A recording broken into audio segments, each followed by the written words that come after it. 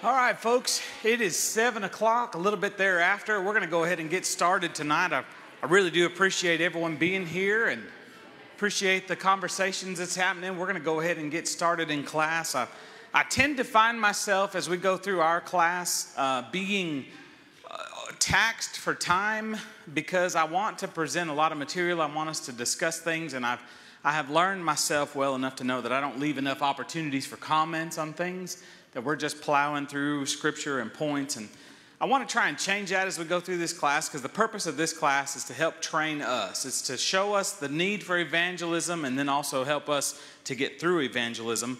Uh, I found a book earlier today that I, um, I'm actually pretty excited. It's called Go Ye Means Go Me. And in this book, there are practical examples of real Bible studies scripts exactly what I want to do up here in the last five weeks of our class here. And so I talked with Sarah Martinson last week. Um, you know, she is our script writer for the VBS. All the skits of VBS come through Sarah. And so I'm going to get with Sarah and uh, have a brainstorming session, and we're going to try and create the scripts uh, for the last five weeks of this class. And the plan is for us to see, I'm sorry, it was four weeks the last four weeks of this class is supposed to be conducting a Bible study, getting into a Bible study the first week. The next two weeks is dedicated to inside the Bible study, and then the last class scheduled for this class is landing the plane, the closing part of a Bible study. And so, for our last four weeks, which must maybe plus or minus four weeks, I don't know, but our last four classes are going to be uh, dealing with practical things. And this book, like I said, already gives us a script, a starting point. And so um, I'm excited about that. I have spoke to a few of you, uh, and I still need some more volunteers, people to uh, read along with us when we go through the, the practical side. There's not a lot of acting. You're not going to get scored or graded, or there's no trophies. I'm sorry. But uh, I just need different folks to fill in different roles to participate in this mock uh, interview. And like I said, you can read it straight from a piece of paper. The, the purpose is for us to get us into situations inside a Bible study and then see how, uh, how the, the conductor of the Bible study reacted, how they moved forward, and then we'll stop. And everybody can go take their seats, and we're going to dissect what happened. We'll go over it together as a class what happened during that Bible study. Where did the speaker uh, veer off and chase a rabbit? Or where did the student have that aha moment? We're going to target those kind of things. I want to talk about those things. We're already a week behind. Uh, today we were supposed to start There is a God, and uh, we're not going to do that. We're going to continue on last week's study. We talked about the urgency of evangelism. Now, I want y'all to know there is uh, there's a lot more that we could talk about. And i'm going to try really hard to like i said give us all opportunity to make comments to discuss certain things. We had a good comment last week. I've i've got some notes on it uh, that i'll that we can cover hopefully at the end of today's class. But um, i do want to pick up where we left off last week. And then the plan is going next week we'll go to god that there is a god and someone asked me about the format of the class. What are these first weeks for? And I said, the first few weeks are to reinforce your faith. Because if your faith is weak, if your faith is not where it ought to be, if your faith is struggling, how can you go teach someone to have similar faith to you? Do you really want to put that on someone else? And so, my, uh, my job, what I want us to do over the next number of weeks, is to reinforce your faith to try and make you a stronger Christian so that way you can feel confident as we go through and, and develop into Bible studies. Before we begin, uh, I want to encourage you again, please mark it on your calendars. October the 5th, we're doing our door knocking day here. The, the deacons over evangelism have come up with some good ideas, things that we want to do. Everyone is invited at 8:30 in the morning to come and have breakfast. We'd really like to have everybody be part of breakfast, even if you can't uh, get out and walk on the streets. It's, it's going to be a lot of walking that afternoon. I think we've got planned between uh, two and three hours of walking. And so come and have breakfast with us at 8.30. Come and pray with us at 9.15. And if you can't go with us, bid us Godspeed. Get, send us out the door uh, feeling good so that way we, those that are walking, uh, are encouraged and uplifted. So if you can, make arrangements, write it on your calendars, October the 5th, 8.30 in the morning. And if you care to uh, help to cook or prepare food for that breakfast that morning, please uh, come see one of the deacons and and uh, we'll get out assignments. And it's I love breakfast. It's my it's my first favorite meal of the day. You know. All right, let's have a prayer and then we'll get straight into our class. Please pray with me.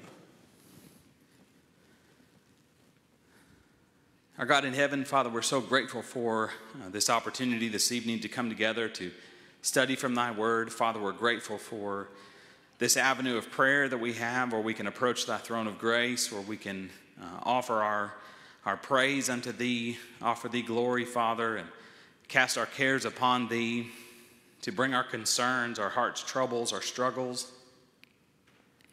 Pray, Father, that thou would be with us through this hour of study.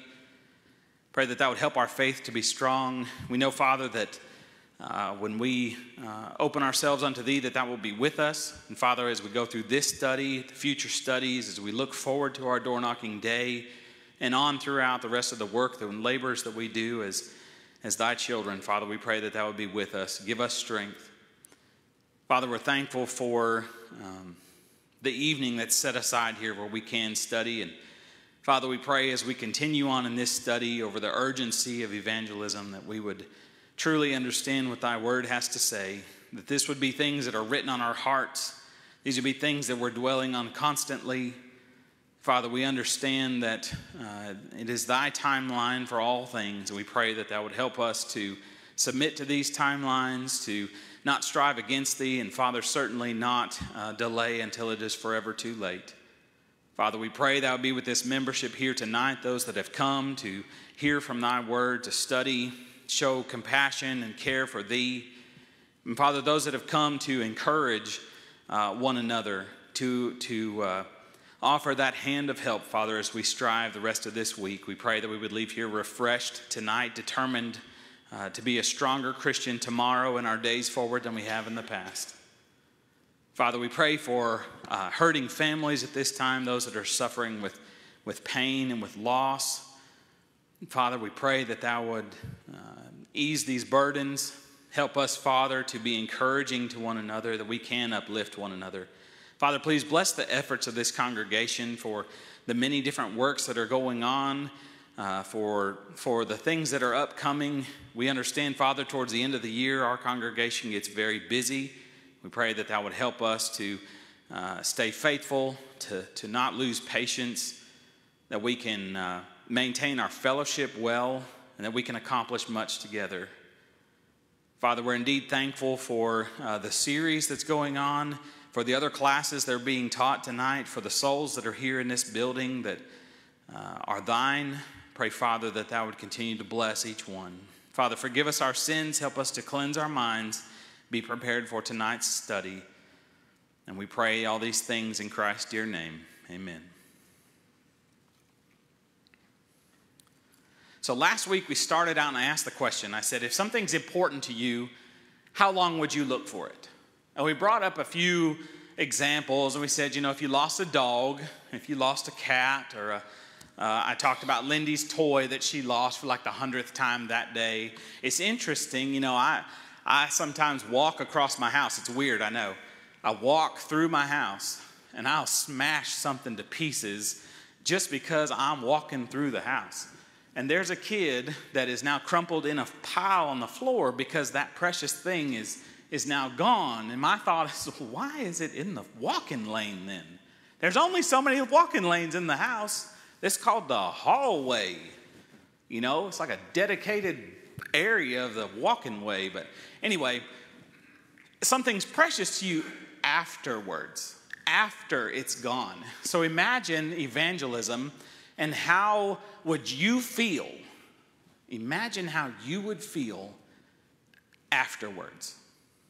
You know, there's a song, and I don't even remember the title of it, but the, the premise of the song is like, Why didn't you tell me about him? Ooh, that's a, that's a hard song to, to really contemplate. Why didn't you tell me about him? And on Judgment Day, when we stand in that line, if, it's, if it is a line, I have no idea. But when we wait for the books to be open, the, the, the accounts to be read, and you see someone you recognize that I didn't tell that person about the gospel, and their account is read, how are you going to feel? These are hypothetical questions, and I, and I know it's not fair. It's not fair to you all to ask those kind of questions. It's really not fair. That is not a fair question to ask. But it, it emphasizes and it gets us thinking about the importance of those lost things. How important are lost things? Because when the cards are laid out, when the books are open and read, that's it. If they were lost, they will stay lost. Our second point that we went over last week, which is, is, is hard, but those that are lost tend to not know that they are lost. Uh, I've, I've thought a lot about, you know, as, as age, is, age is coming along and, and all the ailments that come with age, and, you know, um, I just think a lot about uh, you know people for example that have like dementia that are that are losing their cognitive abilities they're usually the last ones to find out. And it's unfortunate. The lost is nearly in the same boat. They're lost and they don't even know it. And so we went over some scriptures last week. We talked about uh, matthew chapter 10 we read the, the limited commission where Jesus' specific instructions to the disciples or to the apostles at this time was to go and seek the lost sheep of Israel in Matthew chapter 10 in verse number 6. And then he warns them in verse 16. He says, You I send out as sheep among wolves. People aren't going to take it well when you tell them that they're lost. It's not going to be a pleasant experience for some. We talked about that instinctive drowning response, which is when someone is drowning, when someone is dying, and you want to come save them, and oftentimes uh, that person ends up drowning the rescuer. It's the fight or flight methodology where they will attack someone trying to help them. It's just, it's a terrible thing, and uh, the worst part is, it, by the definition, it says um, the suppression of rational behavior by panic can endanger swimmers' attempts to rescue the victim. The suppression of rational thoughts. I, I fully believe those that are lost, until they see that they are lost, they're going to fight you tooth and nail. And it's scary because of the urgency behind it. There's going to be people that refuse to hear. And we went and we read to, uh, well, we'll get to that in a minute, I'm sorry. Uh, go to Luke chapter 5. Let's open up in Luke chapter 5.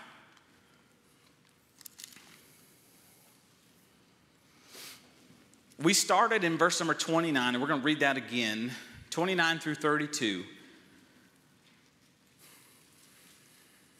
Luke chapter 5, verse 29 says, And Levi made a great feast in his own house, and there was a great company of publicans and others that sat down with him. But the scribes and Pharisees murmured against his disciples, saying, Why do ye eat with drunk or drink with publicans and sinners? And Jesus answered unto them and said, They that are whole need not a physician, but they that are sick. I came not to call the righteous, but sinners to repentance. And we talked about how arrogant is the statement that these scribes and Pharisees say to Jesus Christ, Why are you eating with sinners? And Jesus looks them straight in the face and says, Well, those that are sick are the ones that go see a doctor, not those that are well. And those that are sick up here, that don't know that they're lost, they're not the ones going to seek out. Now, the great thing about evangelism is there are those that recognize they are sick. And we would consider those to be a good contact, right? That's a good contact. That's one that we should go after and grab a hold of and show them the truth. Folks, that one that's striving against, the one that doesn't know that they're sick, they're also a good contact. This world is lost and dying and they don't even know it. And so, our call to action is not to go pick and choose the good ones, go find that one contact that's good. Our job is to, as the parable of the sower, to do what? Sow. That's what we're commanded to do. The sower went forth to sow, and he did. I love that, that uh, parable because the sower's never rebuked for taking the good message and throwing it on the roadside or throwing it into the rocks or throwing it into the weeds. He's not even criticized for throwing it into the good soil. He's praised and recognized for his efforts to sow the seed. You know, Romans tells us, Paul tells us that, you know, I planted, Apollos watered, but God's the one that gives the increase. Our job is to plant. And the admonition of, of Rob Whitaker is plant, don't pick. And so when we say or use terminology, this is a good contact, I think you and I can understand that this would be a, a, a, simpler contact, one maybe that would start a little faster, one that would maybe move quicker towards the gospel, but that doesn't make it one good and one bad. That means one's going to take a little bit more time. One's going to need to mull over a little bit more. But our job is to plant not pick. Jesus tells them here in Luke chapter 5, he, he tells them without telling them, Y'all are sick. Y'all don't even know. You think that you're so righteous, you think you're in the right place, but you're not. It's interesting when you, when you look at this, um, just how blind these scribes and Pharisees are. We're going to read another account in Luke chapter 19 later, and we'll see the same, the same thing. The same thing. Go to 1 Timothy chapter 4. 1 Timothy chapter 4. Look with me at verses 1 and 2 It says, Now the Spirit speaketh expressly that in latter times some shall depart from the faith, giving heed to seducing spirits and doctrines of devils, speaking lies and hypocrisy, having their conscience sealed, seared with a hot iron.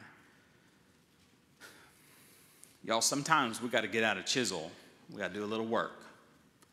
That conscience is seared, meaning they have laid it to rest. They have put it off to the side. This is how it is. Sometimes it's going to take a little bit of work. And I think that's where we got into the conversation last week about the account in Matthew. Let's see. I'm sorry, with the limited commission, yes, in, in, Matthew chapter 10. And we talked about, you know, what does it mean when Jesus tells his apostles to shake the dust off your feet? And we had some comments made towards the end of class and how, you know, perhaps this idea of just giving up on somebody whole out and marking them as forevermore, this person's lost. You know, that's not what we're called to do. I think the, the call to action coming from uh, Matthew there in chapter 10 it was for specifically for the apostles. Go, do your business, and if you're rejected, move on. You got a limited commission, there's only a little bit of work to do.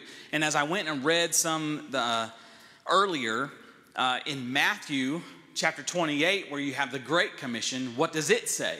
Go ye therefore unto all the earth. That's the limited, or that's the full commission. And what part of Matthew 28, when you read it, does it say, Those that reject you, shake the dust off your feet and mark them as heathens? We don't read that.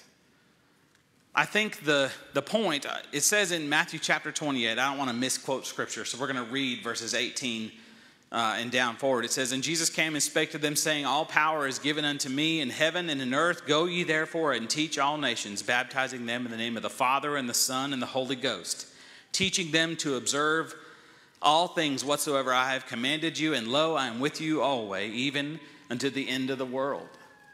There's no part in the Great Commission, as we've called it, to say, shake the dust off your feet and mark the heathen and move on. Now, the idea that Jesus is giving his apostles to go out on the limited commission is if they refuse to accept you, move on. But if you go and you read the account of the great wedding feast, the great feast that was prepared. And the homeowner prepares this giant feast and he says, Go and call all of my friends to come and eat with me. And how do his friends reply? Well, I'm, I'm busy, I, have got married, uh, I bought some land. And so his uh, servants come back and they say, Man, they, they wouldn't come. They're not going to come. So, what does the, the host say to do next then? Well, go to the highways and go to the undesirables, if you will. Go to them and see if they'll come to my feast. Go and gather up anybody willing to come to this feast. The limited commission was reserved for the Jews, the lost house of Israel. The Great Commission is those that rejected the Lord, the highways and the byways those that were lame, those that were uh, the non desirables, if you will. The Great Commission includes those. So we have an obligation to go and to teach, to go and sow seed. It's not to pick and choose, it's not to uh, mark and cast off forever. My admonition to you with regard to the Great Commission is don't grind your wheels and get discouraged. I think that was the point I was trying to bring out is don't grind your wheels and become discouraged in yourself because so and so hasn't accepted the word. I think the, the purpose of us going out into the world and seeking out, casting seed all over, whether it's the road, the wayside, the stones, the weeds, is because something's going to stick. And so if we sit there on the roadside and just keep throwing the same seed on the roadside all day long and we forget about our other obligations, we will miss out on opportunities. And I think that was that's the point that I was trying to make last week, not to say that we are to cast out or, or mark someone as this is not a good contact, don't nobody, no Christian ever come back to here. You realize this is the that was the instruction given to the apostles. It was to mark this city as non receptive. It was an indication to the rest of the Christians that this city is not appropriate or not good. Our Great Commission doesn't include anything about marking those. Our Great Commission says, go and sow seed. Before I forget, anybody got any thoughts or comments on that? Miss Laura.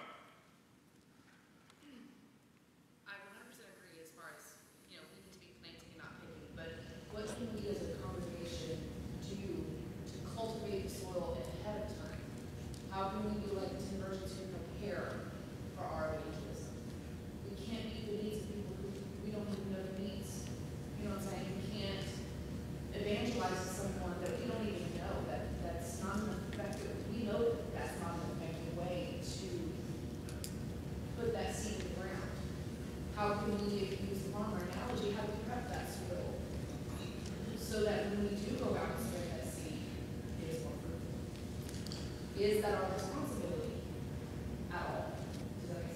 It does. It's, it's a challenging question indeed. How do you prep the soil before we go and, and meet a stranger? How do you cultivate a relationship with a stranger?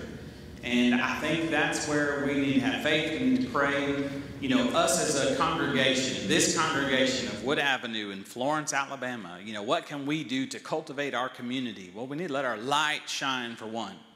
You're known in the area, they know our works. The Bible says they'll know you're Christians by your love. They'll know you're Christ's disciples. There's something different about a Christian.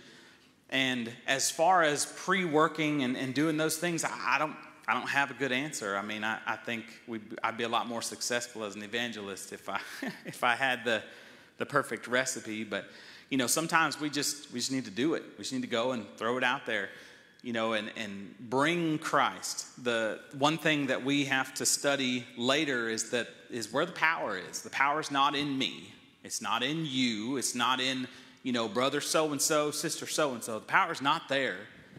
The power is in the gospel. It's in there. We just have to go and open it up and show it. I think that's the big thing. And as far as, uh, you know, if we're an unloving congregation, if we're a congregation that's that's conceited in our own, we're righteous and everybody else is not, and we live that, that life of a, a scribe and a Pharisee where they're the best, they're the prime. I think that's, uh, that's the first way to, to lose a contact and to lose that opportunity. So um, maybe as we go through this study, we'll come up with some more and more and more. All right, let's get David first. I'm going to reiterate a little bit what I said last week as far as that. You know, I, I don't think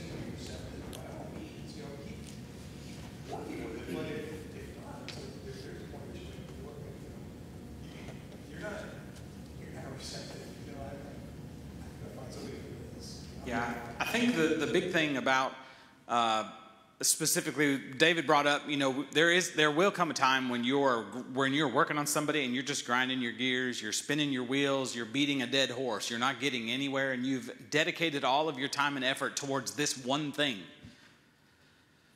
If you're doing that, you're missing other opportunities. You are, we've only got so many hours in the day, so many days in the year, so many years left in our life, and there's too much work to be done for us to get stuck in one pet project, if you will. One non-receptive person that has no interest and they'll spite you all the time. There's no, we don't have enough time to do that. It's not our job to cast someone off and say this person is not a good candidate for the gospel. It is our job to go sow seed. It is our job to work with people. I think the, the main difference that I read today about the limited commission had to do with the fact that the apostles were told to mark that home, mark that city. They were marking people and saying, This city is full of Jews that don't want the truth. And this was a mark. This was like a big deal. Casting this, this assignment to them, assigning them a label. And we're not told to do that at all. We're told to go sow seed and seek out the lost. Miss Paula. Value of prayer as a partner to the actions. Like we're really good at one, but not necessarily the other. Um, and so I think it's very imperative that we pray before we go, pray when you come back. You know, continually, continually pray about those contacts that you make with people, even if you're just talking to somebody in line at the store. Um, I just think it's a valuable thing to do to partner the prayer with the action the. Absolutely. I, if you couldn't hear Miss Paula, she said, uh, you know, we need to partner our actions with prayer before and after, and uh, not lose sight of how significant, important, and helpful prayer can be. Um, you know, us getting together tonight and starting our Bible class with a prayer is encouraging to me, gives calms my nerves down. Um, us, when we meet together on the 5th, Lord willing, we meet together on the 5th. We're going to start with a prayer before food, and we're going to start with a prayer before we go out. And when we all get back safe and sound, uh, sometimes we disperse rather quickly, but we should meet together and have like a debriefing and offer a prayer there at our debriefing. So a lot of a lot of this needs to be engaging our Father in everything that we do. Whether it's door knocking, whether it's visiting, we need to engage our Father. Ask for help, ask for wisdom, ask for strength. You look at what the apostles were told to bring with them literally nothing. Go and, and do. And we're not going to be, uh, you know, they are blessed in, in, in ways, and we are blessed in ways. Uh, I'm going to I'm gonna bring a good pair of shoes myself. Miss Kathy.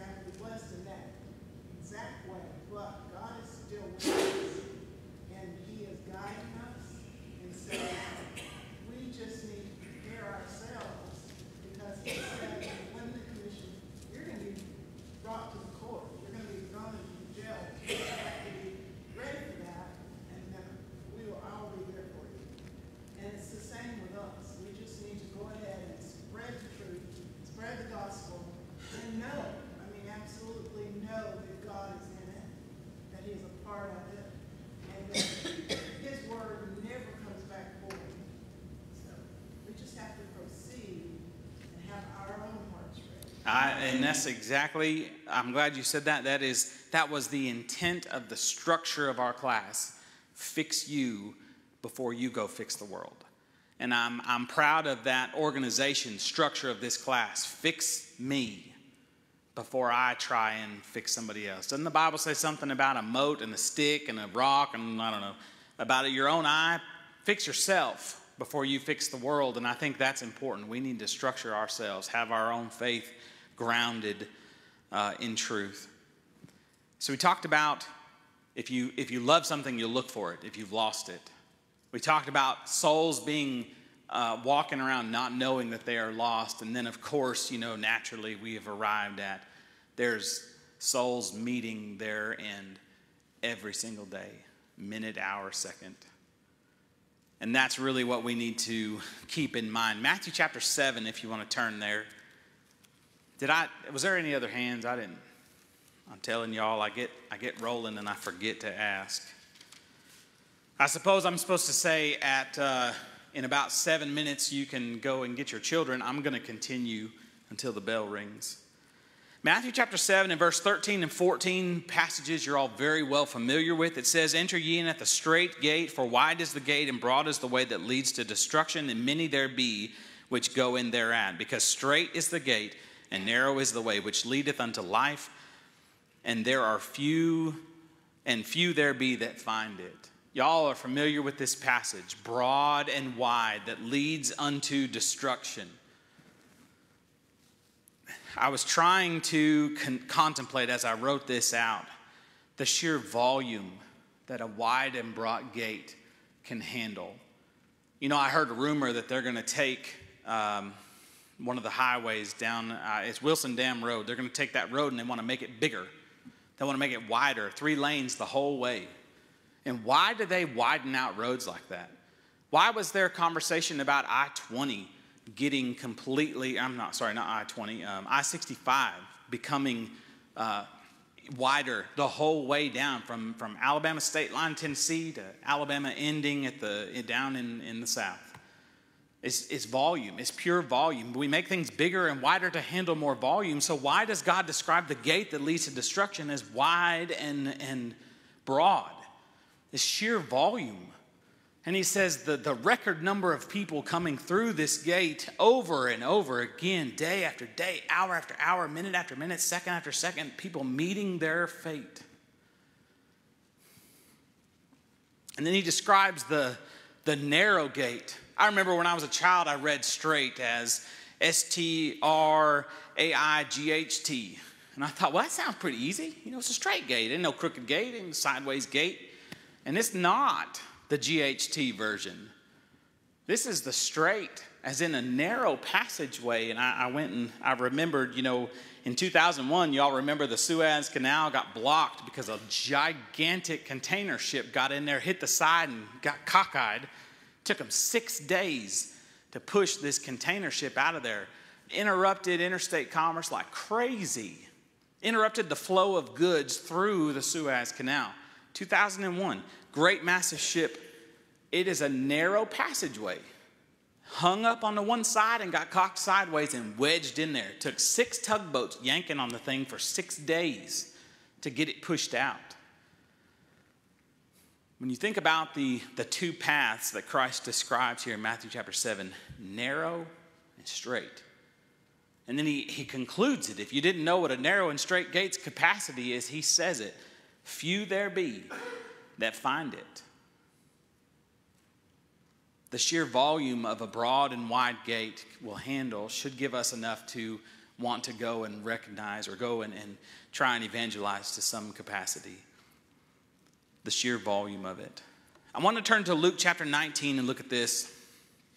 This is the account of Jesus' triumphant entry into Jerusalem as he approaches the end of his time on earth. In verse number 28 is where the triumphant the triumphant entry begins.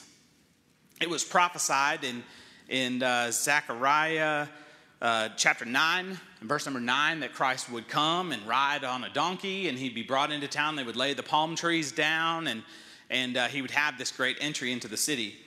And I want to go forward after he's received, you know, he foretells his folks, go and find the donkey, and a man's going to question you about it, tell him it's for the Lord, and he's going to let you have it. Go forward, it says in verse number 35 they brought him to Jesus, being the donkey, and they cast their garments upon the colt, and they set Jesus thereon. And he went, and they spread their clothes in the way. And when he was nigh to the descent of the Mount of Olives, the whole multitude of disciples began to rejoice and praise God with a loud voice for all the mighty works which they had seen. In verse 38, he says, They said, Blessed be the King that cometh from in the name of the Lord, peace in heaven and glory to the highest. They're shouting and singing praises. They're laying the palms down as Christ comes through. They've called this the triumphant entry of Christ. And look at what happens in verse 39. Some of the Pharisees among the multitude said unto him, Master, speaking to Jesus, rebuke thy disciples. This was, this was curious to me. Why? They called him Master. The Pharisees called him Master. They showed some kind of reverence towards Christ. Why, why would they tell his disciples to? to stop shouting these, these praises, uh, calling him the King that cometh in the name of the Lord. Why would they do that? It's because they don't know that they're lost. They don't know how wrong they are. And you can see Jesus' response to them, and he says, I tell you that should these hold their peace, even the stones would cry out. And when he was near, he beheld the city and he wept over it. And why did Jesus weep over this city? Why is it this city that just welcomed him, this crowd of people welcomed him? Why would he turn around to the city and look? I, am telling you, I think it's because the response in verse 39. He looks at these people and then he goes on here in verse number 42 and he continues If you knew at least uh, in this thy day that the things which belong to thy peace, but now they are hid from thine eyes. For the day shall come upon thee, and thine enemy shall cast a trench about thee, and compass thee around, and keep thee in, on every side, and shall lay thee even with the ground, and thy children within thee, and they shall not leave in thee one stone upon another, because thou knowest not the time of thy visitation. Specifically, Christ is referencing the destruction of Jerusalem but I also believe fully that he is lamenting those non believers that tried to rebuke the disciples for singing praises to God. There are going to be an unknown number that go through that broad gate, an unfathomable volume of people to go through that big gate. And it was enough to bring Jesus to tears as he looked over this city after they had just welcomed him some of them welcomed him in this triumphant entry on the colt. They, they laid palm leaves down before him. He knew this prophecy was coming. They, they praised him, and yet he's got the naysayer standing there behind him, chewing on him. Your disciples shouldn't say such things. They're saying, You're the Lord. They're saying, You're from God. I can't help but think that there is a parallel here between the physical destruction of Jerusalem and the loss of life of unprepared people. I can't help but feel that weight as Jesus says there as he turns and he cries over the city. Consider, if you would, Luke chapter 16. Luke chapter 16. I'll try to do justice to this and not just speed through everything. You understand or have read the parable of the rich man and Lazarus from Luke chapter 16, starting in verse number 19. Jesus tells them an account. Now, whether or not this is a real life account or this is a parable, we won't get into that discussion tonight. But I want you to consider the words that the rich man says to Abraham here. In verse number 23, and it says, And in hell he lifts up his eyes, being in torment, and he sees Abraham afar off and Lazarus in his bosom. And he cried and said, Father Abraham, have mercy on me, send Lazarus that he may dip the tip of his finger in water and cool my tongue, for I am tormented in this flame. But Abraham says, Son, remember that thou in thy lifetime received the good things, and likewise Lazarus the evil things, but now he is comforted and thou art tormented. And besides this, there's a great gulf fixed, so that they which would pass from hence cannot, neither can they pass to us that would come from hence. And he said, I pray thee, therefore, Father, that thou wouldest send him to my father's house. I have five brethren, and if he may testify to them, lest they come to this place of torment. Something precious to you once it's gone. This man in torment is begging for just the drip of water off the tip of the finger of Lazarus. Come and cool my torment. And it was so important that he would reach out and speak to Abraham and say, Please send him back. That way my family won't come here. The urgency behind evangelism is so large.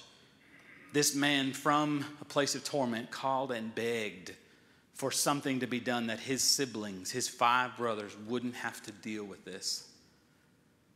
Unfortunately, when we meet our end or the Lord returns, it is too late.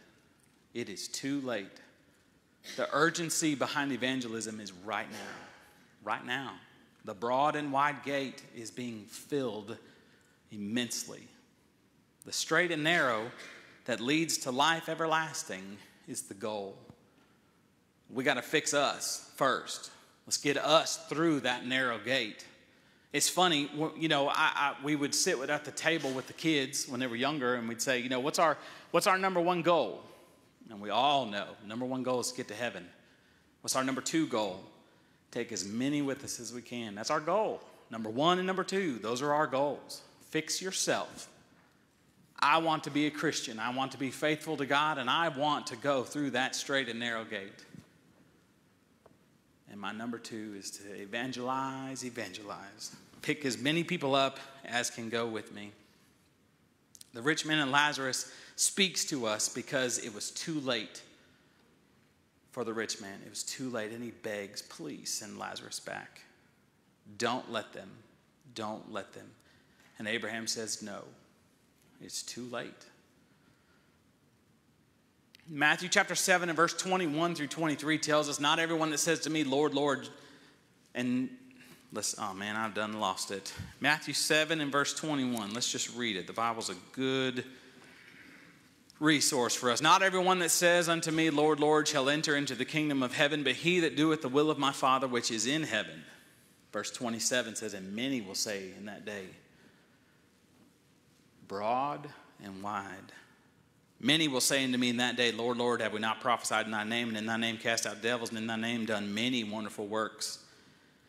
And then will I profess unto them, I never knew you. Depart from me, ye that work iniquity. When we talk about casting seed, to win souls, there are going to be some that will fight against you and say, I don't need anything you got, I've got the Lord.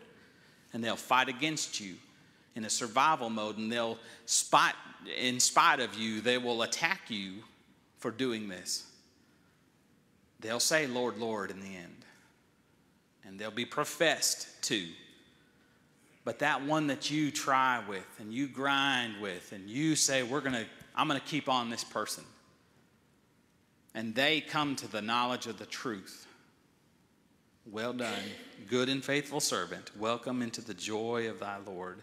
Those are the words that we want to hear. 2 Peter chapter 3 says, The Lord is not slack concerning his promise, as some men count slackness, but is longsuffering to usward, not willing that any should perish, but that all should come to repentance. The Lord is not slack concerning that promise.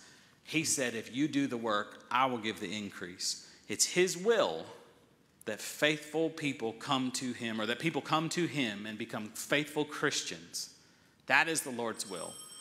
And ultimately, if we don't do our part, if we don't do that urgency uh, steps towards evangelism, well, there are going to be a lot of souls. How many souls could you affect?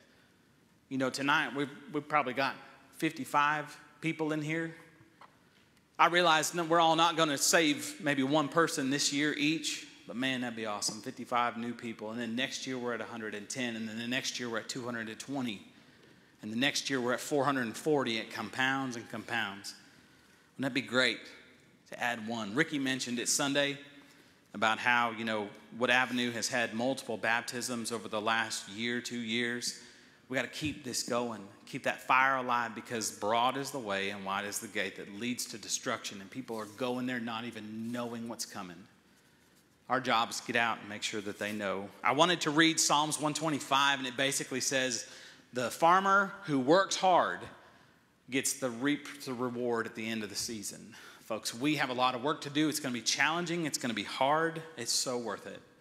It's so worth it. You study with someone and they come, their eyes open, as we're going to see. You can feel greatly encouraged watching somebody's eyes will, open up. That individual that puts on Christ in baptism becomes a member of the Lord's body. Their soul's going to be in heaven and that's worth it all. Thank you all for your attention tonight.